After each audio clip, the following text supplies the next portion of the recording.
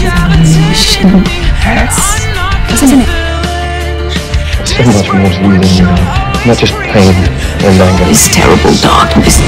This is what I am.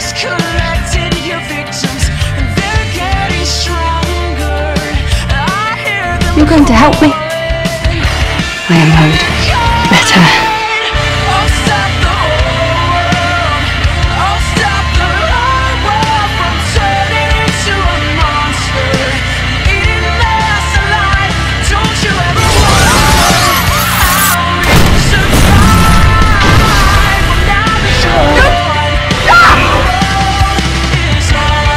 Are you leaving? This whole situation is, is one big bloody giant What are you talking about? Not long ago, I was very close to my mother. That was you, making me scared, making me feel like a bloody idiot. What do you want from me? I love you. Never been here before.